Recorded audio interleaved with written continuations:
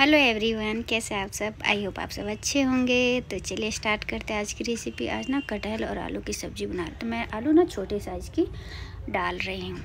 तो सबसे पहले ना मैंने आलू को अच्छे से छीन लिया उसको ना एक फोक से ना उसमें ना अच्छे से छेद कर दिया उसको ना वॉश करके ना मैं इसको अच्छे से फ्राई कर लूँगी।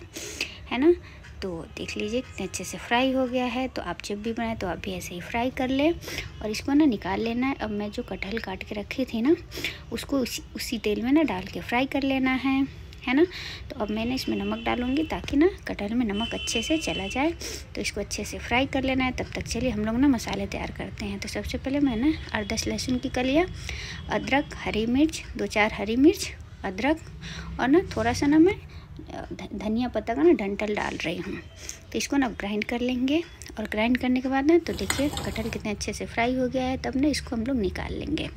निकाल बाद ना, अब एक कुकर चढ़ाएँगे, है ना? कुकर में मैंने ना वो वीडियो शूट करना भूल गया है।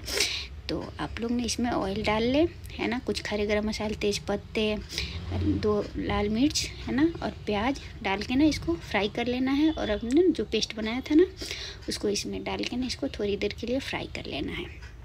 तो देखिए बीच बीच में इसको चला के ना फ्राई करते रहें। तो फ्राई हो गया तो इसमें कुछ सूखे मसाले डालेंगे, धनिया, जीरा हल्दी पाउडर, लाल मिर्च पाउडर, गरम मसाले और ना कश्मीरी लाल मिर्च पाउडर कलर के लिए और नमक टेस्ट के अनुसार डाल के ना इसको फ्राई कर लेना है। तो इसमें ना थोड़ा सा पानी की कमी है, मसाला जले ना इसलिए ना मैं इसमें थोड़ा पानी डाल रही हूँ।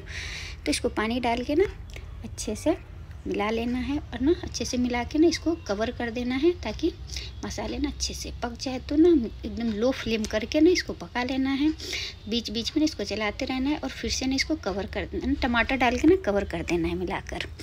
तो कवर कर देने से ना फिर से टमाटर अच्छे से गल जाएगा, है ना? और मसाले भी पक जाएँगे। तो देखिए मैं इसको कवर कर दी हूँ। तो अब देखिए कि मसाले कितने अच्छे से पक गए हैं और मसाले ना तेल भी छोड़ दिए हैं। तो अब ना इसमें जो आलू और कटहल को फ्राई करके रखा था ना, उसको इसमें डाल देंगे। और डालने के बाद ना, इसको अच्छे से मिला लेंगे। इसको अच्छे से मिलाने के बाद ना, सभी मसाले जब इसमें अच्छे से मिल जाएँगे तो इसको ना फिर से कवर कर देंगे।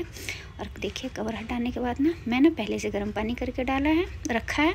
तो अब ना इसमें डाल देना है। तो देख सकते हैं, मैं इसमें पानी डाल रही हूँ। और पानी डाल के ना, अच्छे से मिला लेना है। और मिलाने के बाद ना, इसको कवर कर देना है और कवर करने के बाद ना इसको ना तीन सीटी आने देना है मीडियम फ्लेम पे। और ना तो देख सकते हैं कि सीटी आ गया है और सब्ज़ी रेडी है तो आप पुलाव के साथ चावल